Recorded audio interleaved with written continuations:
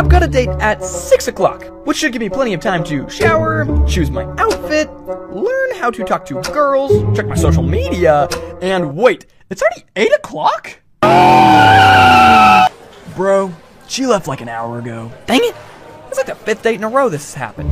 Yeah, I'm not a doctor, but it kind of sounds like you're time. Have you looked into Done? Oh, I didn't know you were still listening. Yeah, well, it's just time blindness is a very common symptom in people with ADHD. And when it comes to stuff like this, there's no better place to turn to than Done. There's a reason why they're the number one online platform for ADHD. Plus, it's super easy to get started. Okay, was this an ad?